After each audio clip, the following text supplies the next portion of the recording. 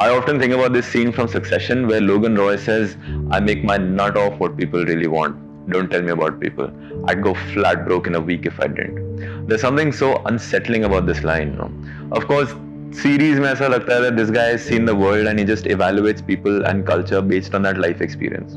But when you really think about it, you realize what we really want, feel, think, and experience is just data to billionaires like Logan Roy. He hasn't become filthy rich by just being a good judge of character or culture. He's smart, but it takes much more than that, even in the fictional world of succession.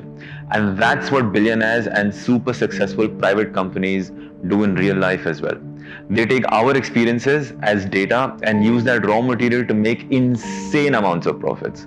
Who is it that they are really selling? And who is buying it? Are they even selling something real or tangible to us? Or do they just create experiences that manipulate our choices as individuals, society, and a democracy? The answer to these questions lie in the fascinating and chilling story of something called surveillance capitalism. Let's first try to understand what it means and what's, what its origin story is. In 2019, a Harvard professor, business school professor, Shoshana Zuboff ने एक book लिखी थी The Age of Surveillance Capitalism. She has a background in business, believes in the system of capitalism, and has studied social psychology. Despite her faith in the system of capitalism, she went on to pinpoint a development in it that she thought could destroy democracy and society as we know it. She defines surveillance capitalism as a system where all human experience becomes free raw material for capitalists to use it as behavioral data.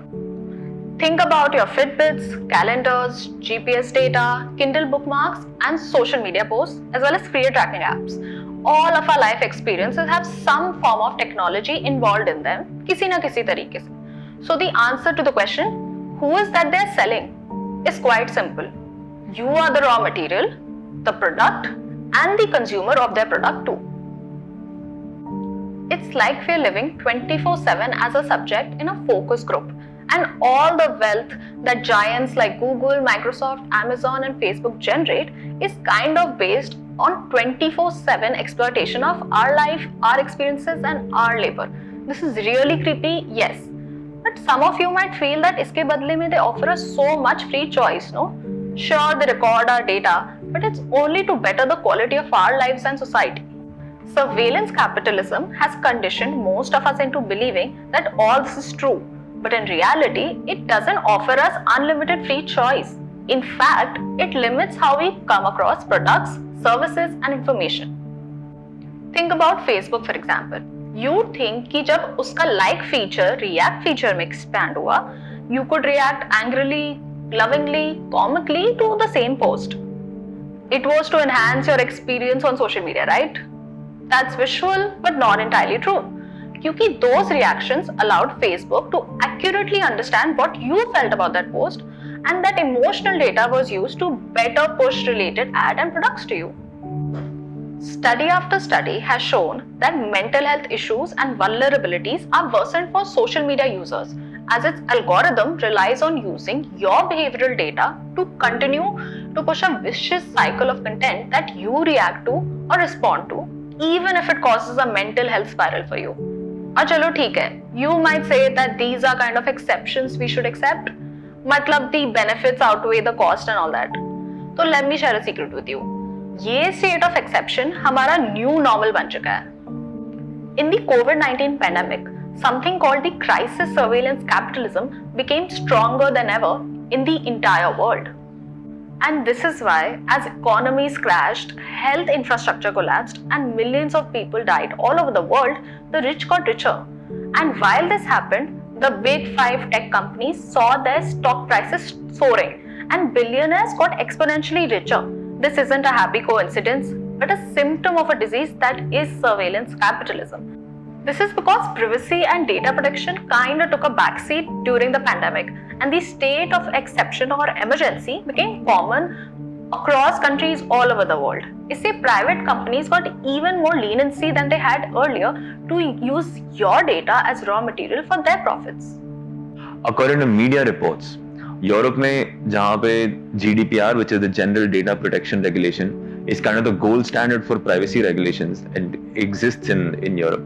after COVID, ऐसा scene हो गया था that their National Health Service and other government organizations freely shared and accessed all kinds of health, location, and other data which was previously seen as sensitive and personal. They just had to say, oh, this is to fight COVID.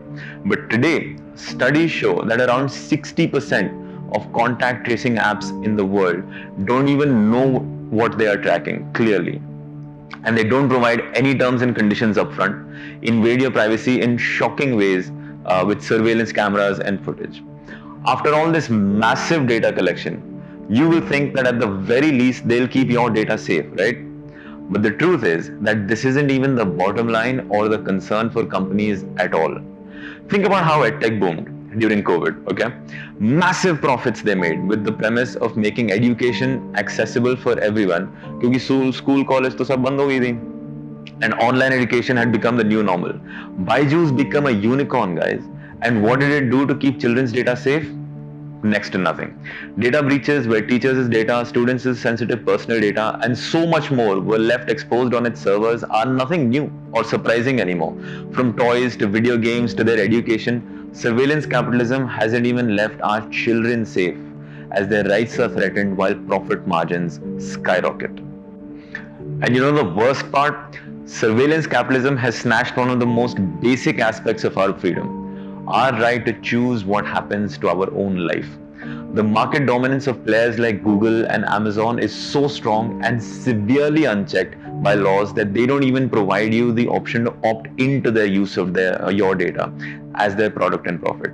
Their shady privacy policies don't allow you to actually choose आपको आपकी privacy बेचनी भी है या नहीं that's just assumed as a default. They only provide an opt-out option hidden somewhere in the fine print because they know कि जिस दिन इन्होंने ये system transparent और choice centric कर दिया they will lose access to a lot of your data and your life won't be in their lab experiment anymore. So what does this lab experiment get you? In the show Mad Men, there's something that Don Draper, an advertising guy, says which really answers what surveillance capitalism gets you. He says, the reason you haven't felt it is because it doesn't exist. What you call love was invented by guys like me to sell nylons. That's what it does. Your life experiences become free raw material for tech giants to sell to ad companies, insurance companies, governments, and everyone under the sun. And this is used to manipulate your future. Think about how sensitive and intimate health data is weaponized by insurance providers to fuel their profits from you or how clickbait posts on Facebook and social media run rampant even if they are misinformation or hate speech because more clicks equal more ad revenue and profits for these businesses. So your life isn't just used to predict what can be sold to you, but your life itself is sold as data to the highest bidder and then that data is used to manipulate and create a future that is profitable to these giants. In her book, Zuboff says that surveillance capitalism makes it impossible for democracies to survive as we know them.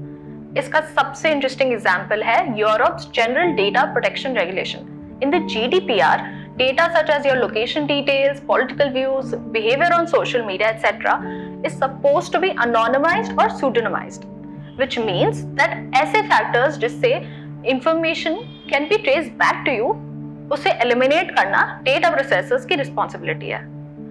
This de-identification of data and its method seems amazing on the surface, though they, they seem like they will kind of enhance privacy for the people, right? Wrong. Because this is kind of like a red herring from an Agatha Christie mystery.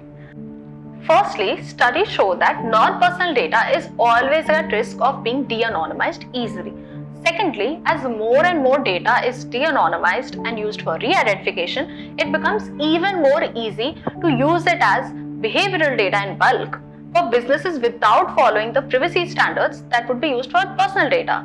So even if the personal information is removed from the data, it is very easy to add it back, which makes it easy for businesses to use our human experiences as their private property.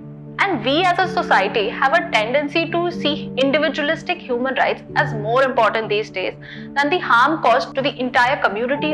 और इस चक्कर में सबसे ज्यादा risk होता है to the most systematically oppressed groups of societies जिनके sexuality gender identity religion ethnicity caste ये सब उन्हें हमेशा हाइट एंड सर्वेलेंस रिस्क पे रखता है by allowing anonymized data to flourish as behavioral data and become free raw material for businesses, the greatest cost we are paying is by surrendering our rights as a democratic society, putting the most vulnerable at the most highest risk as class disparities widen and wealth gap increases.